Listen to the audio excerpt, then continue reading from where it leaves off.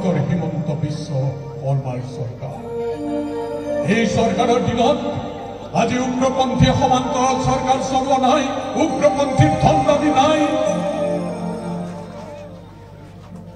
আমাৰ চৰকাৰৰ ভাৰতীয় জনতা পাৰ্টি উগ্ৰপন্থীৰ লগত কাৰো নাই।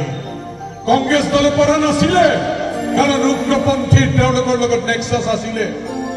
সেই সময়তে সাংসদ চৈধ্য চনৰ গগৈয়ে মাত লগাব পৰা নাছিলে। ইয়াৰ মানুহৰ কাৰণে চকুলো টুকা নাছিলে।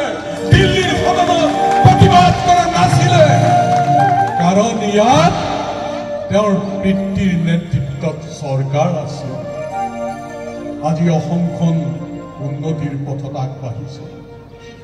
ৰাস্তা, পদূলি, চিকিৎসা ব্যৱস্থা, শিক্ষা ব্যৱস্থা।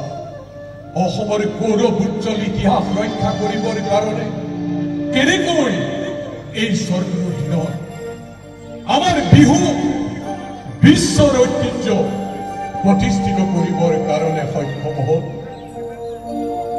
বীৰ লাচিত বৰফুকনৰ কেনেকৈ ৰাষ্ট্ৰীয় পৰ্যায়ত ছেমিনাৰ অনুষ্ঠিত কৰিলে কেনেকৈ চৰাইদেউৰ ঐতিহ্য খণ্ড বিশ্বত মৰ্যাদা পাবলৈ সক্ষম হ'ল কেনেকৈ সংগীত মানুহৰ মনৰ শংকা দূৰ কৰি অসমীয়া ভাষাক ধ্ৰুপদী ভাষাৰ স্বীকৃতি প্ৰদান কৰিলে এই চৰকাৰে অসমীয়া জাতিটোৰ কাৰণে যিমানখিনি কৰিছে কওকচোন মই বেছি দিনলৈ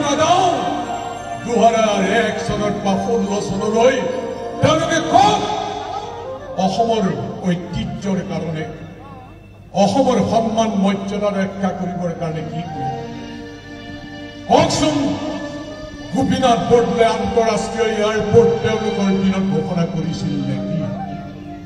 কওকচোন আমাৰ মৰণোত্তৰ ভাৱে সুধাকণ্ঠ ডক্টৰ ভূপেন হাজৰিকাক ভাৰত ৰত্ন কোনে প্ৰদান কৰিছে কওক, তেওঁলোকে ছবিলাল উপাধ্যায় তেওঁৰ স্মৃতি যুগমীয়া কৰিবৰ কাৰণে এই বিহালীত ইঞ্জিনিয়াৰিং কলেজ কোনে প্ৰতিষ্ঠা কৰিছে। আজি শান্তিৰ অসম প্ৰগতিৰ অসম।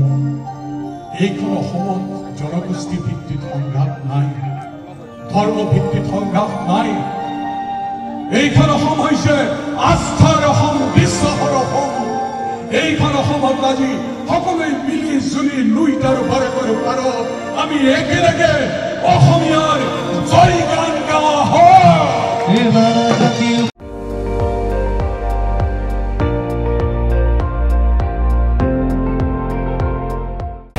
আপুনি চাই আছে এন ডি টুৱেণ্টি ফ'ৰ। সৰ্বশ্ৰেষ্ঠ নহয় সৰ্বোত্তমৰ দৌৰত।